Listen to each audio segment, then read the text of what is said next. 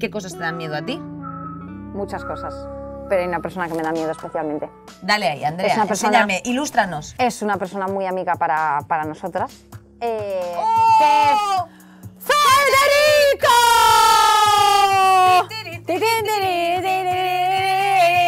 Mira, Federico, Federico, desde aquí un beso. Federico Mochi es una persona que ha hecho tres metros sobre el cielo. Luego todas las demás que se llaman eh, tres metros sobre el cielo, hacia atrás, hacia adelante, tres veces tú, dos veces yo. Tres metros en una nube, Tres tres, metros, metros por debajo, nube. el roller coaster Eh, del cielo. Luego está el perdona si te llamo amor, perdona si te quiero, perdona quiero vivir contigo, perdona si te no. meto esta hostia en la cara y entonces así está Federico. Es que, es que Federico, ¿por qué me da miedo Federico Mocha? No, escúchame una cosa. Si nos estás viendo Federico, eh, Eh, dice que el fumetro va a la vía la mare, un besito para ti. Esatto, eh, Federico Eva fanculo, però mira che bellissimo pe- PowerPoint eh, facciamo per te.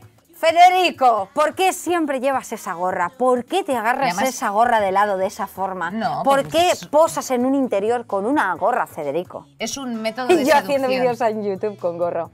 No, no, No no. somos la misma persona. No, no, claro que no tiene nada que ver. ¿No es lo mismo esa gorra?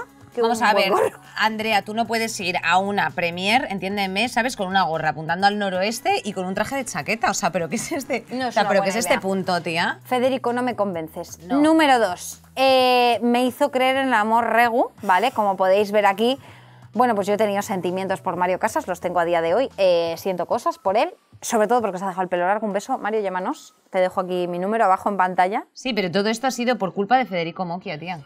Sí, ha sido culpa de Federico Mocchia. Mira mi cara de estreñimiento ahí completamente con eh, Mario Casas. Hombre, claro. Desde aquí pido que hagan una tercera parte, ¿por qué no? Pero Federico Moche me da miedo, me da miedo, me da miedo, lo digo, me da miedo y me ha hecho creer en el amor regular porque yo iba por la calle y digo, a ver si alguien me llama fea. Oye, eso no son formas. No, no son No son formas. formas, yo no que fea y la otra, ¡ah! No. No, y también te voy a decir otra cosa, Federico. A mí te me cortas, bajas un poquito el tono con el tema de la seguridad vial, ¿eh? Porque todo el rato el Sin H casco sin casco nada. por la ciudad, chico. Bueno, y que, y no llegues a- ahí que está sonando Forever Young y llegues y le metas un poco a alguien. ¿Tú, estás bueno, tonto? que Que están poniendo Forever John de Alfabile, hombre, que eso es un himno. Respeto. Pero por favor. Entonces, Federico, a reescribir, porque esto no nos ha gustado. En tercer lugar, me ha generado terrores nocturnos. ¿Sabes por qué?